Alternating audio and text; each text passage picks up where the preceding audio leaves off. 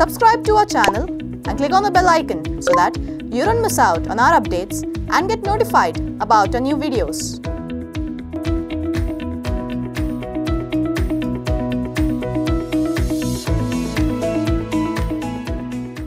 Welcome to this video about SEO. Search engines such as Google and Bing are one of the biggest and best source of traffic for most websites.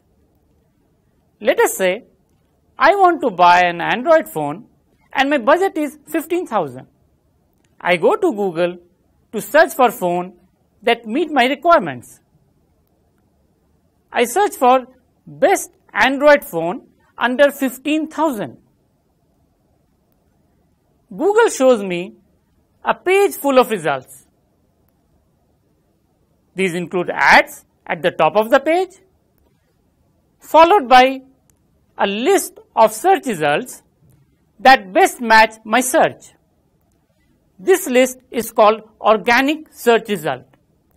Users trust Google to show them the most relevant pages. Most people click one or more pages in the search result and go to the website.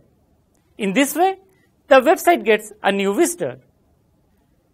Google lists 10 results per page and includes multiple pages for each search. A typical user never goes beyond page 3 of the search result. Most people don't go beyond page 1.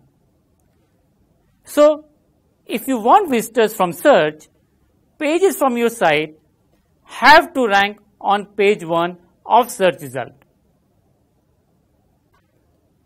The process of getting your site's pages rank higher in the search results is called search engine optimization or SEO.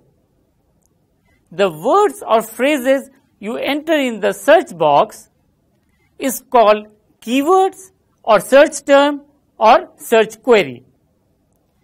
The page that shows search result is called the search engine results page or SERP.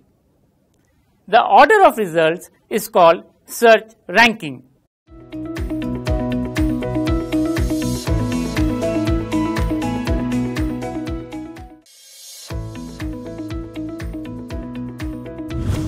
Hey, thanks for watching.